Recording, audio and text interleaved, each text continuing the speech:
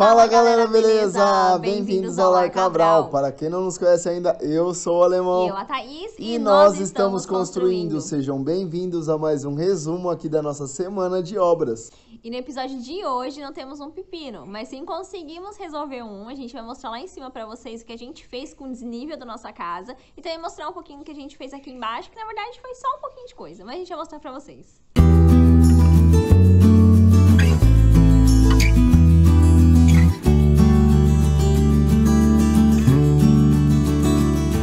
Mas, gente, não esqueçam de deixar um like aqui no vídeo, isso ajuda demais a gente. Então, se você também não for inscrito no canal, já se inscreve aqui, ativa o sininho, porque toda sexta-feira e todo domingo a gente tem vídeo novo sobre obras e de sábado, uma vez por mês, a gente tem o quadro Lar Cabral Inspira. Então, já ativa o sininho aqui e deixa o like, gente. Agora vamos lá. Bom, gente, aqui no andar de baixo, a única coisa que fizemos foi dar continuidade nesse muro aqui, que é o nosso muro de divisa com o nosso vizinho, né?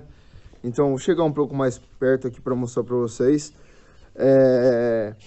Aqui, notem que até metade dele tava os blocos em pé e depois a gente deitou. Por quê? A princípio, aqui eu deixo até um espacinho para conseguir mostrar melhor para vocês. Notem que era um muro que era para ser todo em pé. Aí chegou mais ou menos nessa etapa, a gente decidiu mudar. A gente decidiu fazer um muro duplo. Então, novamente fizemos uma camada em pé e agora estamos deitando os blocos. A verdade é que deu no mesmo que se a gente tivesse desde o começo partido desses blocos já deitados. Mas por quê? A gente vai fazer esse muro um pouco mais alto do que o tradicional. Aqui na, no nosso condomínio, o pessoal costuma deixar com 2 metros mais ou menos esse muro. Mas o que acontece? Nós estamos aqui no fim do condomínio. E aqui para trás é só mata, não tem nada. Então, assim, claro, pedimos autorização para o condomínio para fazer o nosso muro mais alto, né? E é o que vem sendo feito aí, é o que vem sendo feito pro, com todos os terrenos é, que ficam aqui para o fim do condomínio. Notem que o meu vizinho aqui ainda vai subir mais ainda, porque aqui a casa dele ainda vai ter a platibanda. E o meu vizinho desse lado, ó, tem um muro já gigante também. E olha ali, ó. Se vocês verem essa parte, ó. Tá passando a altura do condomínio. Então a gente considera 3, 4 metros uma altura boa, né, para esse muro. Por mais que aqui na nossa cidade o índice de criminalidade não tem nada a ver com São Paulo, né, que é a cidade de onde a gente vem, a gente mesmo assim tem o pé meio atrás, né, e como é só mata, é só nada aí para trás, a gente fica meio receoso. Claro que Perigo aqui nunca condicionado, perigo aqui é zero mesmo. Mas é mais é uma pre... assim, né? É bom é, prevenir. É mais uma precaução, né, é. gente? Então não custa nada, né? Coisa que vocês perguntam muito também, gente, é em relação ao distanciamento do muro, né? É, esse muro aqui são dois muros diferentes que a gente tá fazendo. Então, o, esse muro aqui é custo nosso e a, a, casa do vizinho, o muro dele, vai ser custo dele, né? Ali mais pra frente, o Anderson vai mostrar, é corredor com corredor. Vão ser feitos dois muros, gente. Um, cada qual com o seu muro, para cada um cuidar do seu. No nosso outro vizinho também, tinha construir outro muro. Mesmo que o vizinho é meu sogro, né? O pai do Anderson. A gente ainda assim vai construir um outro muro para cada um ficar com seu muro, né? Então, assim, aqui na nossa cidade não tem é, questão de espaçamento, é alguma norma da cidade que fala assim, ah, tem que ter um espaço entre um muro e outro. Não tem, então pode ser colado. E, e eu tô falando isso porque tem algumas cidades que tem. E aí, só para esclarecer, né? Tem tem gente que faz o muro em conjunto com o vizinho. Foi até uma coisa que vocês perguntaram bastante. Gente, não pode fazer, além de ser perigoso, né? Imagina uma infiltração, alguma coisa, quem que cuida? Então, cada um tem o seu para cuidar. Agora, a gente vai lá pra frente pra mostrar como que é o muro um pouquinho mais pra frente pra vocês verem. Aqui, gente, ó, só pra mostrar pra vocês. Aqui tá bem baixinho ainda, né? Mas é pra mostrar isso que a Thaís falou, ó. Tem que ter cada um o seu. Aqui, o nosso vizinho ainda não começou a levantar o dele, ó mas aqui já está o baldrame e logo ele também vai levantar. É, o correto, na verdade, como a Thaís disse, por conta tanto de infiltração, mas aqui, por via de regra, já é lei do condomínio. Então, cada, cada proprietário tem que construir o seu muro. Vou dar outra vista aqui para vocês verem, ó. Aqui é corredor com corredor, então eu vou ter um muro e ele vai ter o dele. E por ser condomínio já de natureza, eles já exigem que cada um tenha o seu muro, é, justamente por conta disso. Se der infiltração aqui no meu muro, se der infiltração aqui no meu muro, a responsabilidade é minha. Se der infiltração no muro dele, a responsabilidade vai ser dele.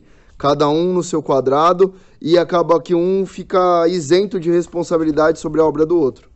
E para garantir isso, eu tenho que fazer a minha parte, eu tenho que fazer a minha impermeabilização. Aqui tá, já tá, tá bem sujo, tá, gente? Mas toda essa parte aqui, ó, ela tá impermeabilizada. Aqui no fundo dá para ver um pouco melhor, que é o meu baldrame. Além de eu não passar é, a umidade para o meu muro, eu também estou protegendo a casa do meu vizinho. Então, cada um também tem que fazer sua parte para a proteção do outro.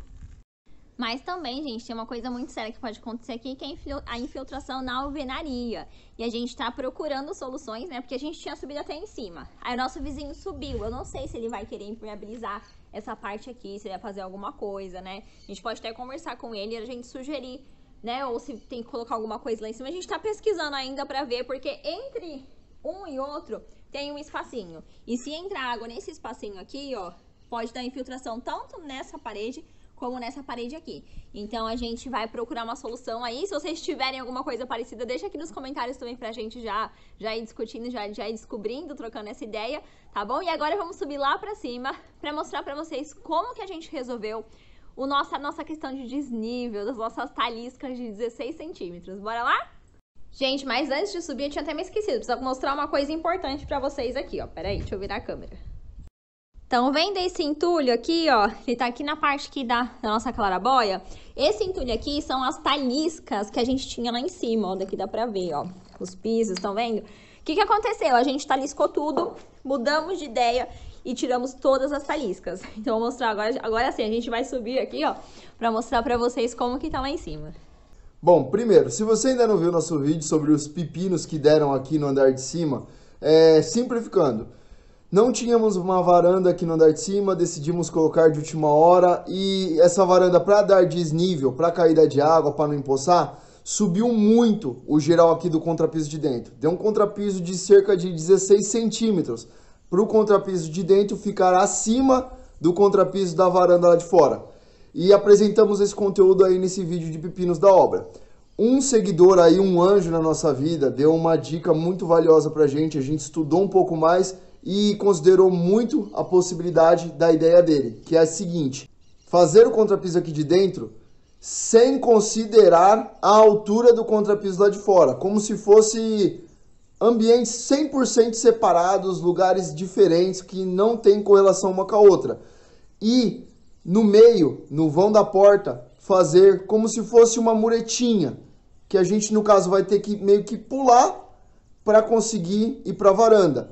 Só que dessa forma a gente consegue um contrapiso aqui dentro muito mais baixo e essa divisão faz com que a água também lá da varanda nunca consiga infiltrar aqui dentro da nossa casa. A gente achou uma solução muito viável, porque o nosso contrapiso aqui de dentro de 16 centímetros passou para entre 9 e 10. Então abaixou cerca de 6 centímetros no contrapiso.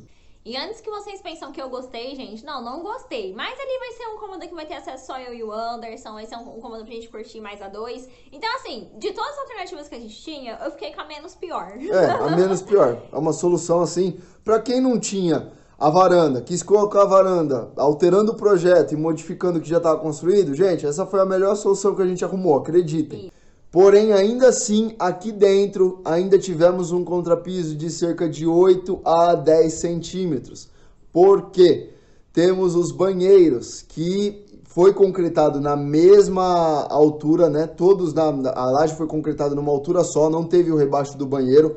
E, gente, acreditem, eu segui o projeto estrutural. O nosso projeto estrutural pediu para fazer desse jeito. Então, na época a gente não tinha conhecimento, seguiu o projeto estrutural. Erro nosso? Não. Erro do engenheiro. Então, gente, infelizmente, engenheiro também erra, engenheiro até, não é Deus, né? Então. Até, a gente até é, revisou o projeto, porque eu falei assim: não, amor, como é a primeira casa que a gente executa o projeto, pode ser que a gente errou. errou. Então a gente revisou o projeto, deu para outro engenheiro ver e realmente não estava previsto nem no arquitetônico nem, nem no, no estrutural. Então acreditem, o erro não foi nosso. Concretamos a laje num pano só porque a gente pensa que estava na planta. A gente seguiu 100% a planta, né? Mas, continuando, por conta disso tivemos que fazer duas elevações. Contrapiso do box, contrapiso de fora do box e o contrapiso aqui de cima, que já é outro acima de tudo. Então, gente, acreditem, subiu de 8 a 10 centímetros. Então, gente, já fica aí a dica. Se vocês são leigos de obra, igual a gente era, né? Se atentem ao nível dos banheiros, de, de áreas que são que, que caem água, né? Varanda, banheiro, enfim, se for no andar superior, se atentem ao nível quando for bater a laje. Agora a gente vai explicar para vocês o que, que a gente fez aqui. Afinal, um contrapiso de 8 centímetros, além de ser muito pesado para uma laje. Ele também pode ocasionar um monte de coisa se você fizer tudo de uma vez, uma camada assim de concreto, podendo ficar fofo, estourar o piso, um monte de coisas. Então a gente procurou soluções. A gente até comentou no vídeo dos pepinos da obra, né, que a gente usa argila expandida para fazer o nosso enchimento aqui na laje. Deu super certo, a gente vai mostrar agora o resultado para vocês, né? Mas basicamente argila com cimento e água misturou na bitoneira, Já era. jogou aqui em cima. Mão a e a mão. gente fez esse enchimento, então, assim, completou boa parte, bem levinha, bem rapidinho, bem, assim, comparando ao custo do concreto que teria que ser feito, bem mais barato. Então já fica aí a solução. Se por acaso já, já errou também agora como a gente, que eu recebi várias mensagens, Thaís, aconteceu errou, a mesma coisa fica a comigo. solução. 13 centímetros, não sei quantos centímetros, então já, já fica aí a opção pra vocês. Gente, olha isso. Nossa regularização com argila expandida. Aqui, ó, os dois quartos. Notem que o banheiro não tem, por conta desses rebaixos, né? Vão ser 2 centímetros de diferença é, do contrapiso daqui pro contrapiso do banheiro e mais dois pro do box. Então a gente não fez o, esse, esse processo com argila. Não fez, é, acabou não fazendo esse processo com argila. Aqui o nosso quarto. Nosso closet, que inclusive está molhado, né? Porque a clarabóia ali está aberta, ainda choveu. Então ali não é que não secou ainda, gente, é que choveu hoje, tá? E aqui a nossa varanda. Olha isso, gente. Só para vocês entenderem. Olha a altura que ficou aqui fora. Você imagina ter que fazer um contrapiso da altura dessa talisca, ó. Só para vocês verem aqui minha mão. Olha isso, um contrapiso dessa altura. Ó, essas argilinhas que ficam sem é, outras por cima, elas acabam se soltando, tá, gente? Isso é um processo normal. Agora aqui, ó, ela fica bem dura mesmo, tá? Porque aqui ela, ela fixa uma na outra. Gente, olha isso. Um absurdo, né? Não tem como fazer um contrapiso dessa altura. E, gente, essa argila é uma mega solução. Olha só o processo aqui. Reduz muito a carga estrutural, reduz muito. Então é como se a gente estivesse fazendo ao final um contrapiso normal, como se não tivesse, como se não tivesse esse enchimento. Então foi uma super solução que a gente encontrou para chegar na altura que a gente precisava. Aqui vai ter uma super caída aqui na varanda, ó, só para explicar para vocês. Essa água ela vai vir, vai ser conduzida, conduzida com uma caída de acordo com a norma. Não fizemos gambiarra, utilizamos os, as caídas da norma e ela chega nesse ponto aqui. Notem que aqui o contrapiso também vai ser baixo, então não precisamos da, do enchimento com argila, porque o próprio contrapiso aqui já é o final. Olha aqui, ó, só um dedinho de contrapiso, então esse é o correto. Então essa solução, acredita, é uma solução rápida. A gente fez todo esse processo aqui, gente, em um dia. Na verdade, um dia e meio, né? Mas eu, meu pai e o pedreiro. Então acaba sendo um processo muito rápido. O custo não é elevado e a carga estrutural é muito reduzida. Eu queria mandar um abraço aí pro Renato da Cinexpan, que apresentou essa solução assim pra gente de uma forma fantástica. Ele deu pra gente uma aula de como fazer, uma aula bem explicativa mesmo e uma curiosidade muito interessante para vocês. Um metro do concreto tradicional, um contrapiso tradicional, pesa um metro cúbico, algo equivalente a 2 toneladas e 400 quilos. Já essa regularização, o mesmo espaçamento, equivalem a só 600 quilos. Então esse processo com argila, gente, é um quarto do peso. Então a gente não está sobrecarregando nada aqui a nossa laje fazendo esse processo. Então é um processo muito benéfico quando você tem que fazer esse enchimento, sem criar sobrepesos, causando assim possíveis danos à sua estrutura. Então, gente, avaliem muito bem a possibilidade de fazer um processo desse caso vocês tenham que fazer elevação no banheiro. Às vezes você quer deixar, às vezes as pessoas deixam até o banheiro no mesmo nível e quando lava vira aquela meleca toda só porque tem medo de fazer essa elevação.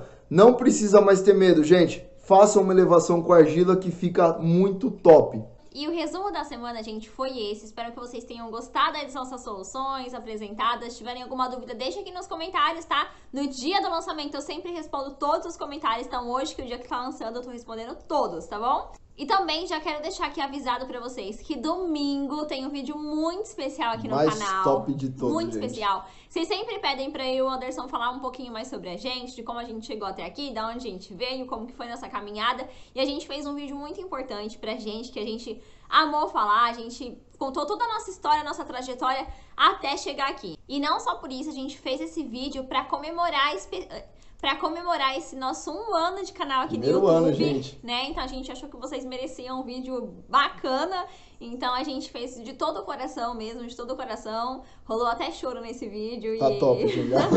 é, rolou Ah, só de lembrar eu fico arrepiada porque o vídeo tá muito legal mesmo. Então é isso aí, gente. Nos vemos domingo, hein? Mas se você gostou desse vídeo, deixa o seu like, se inscreve no nosso canal que tá aqui embaixo.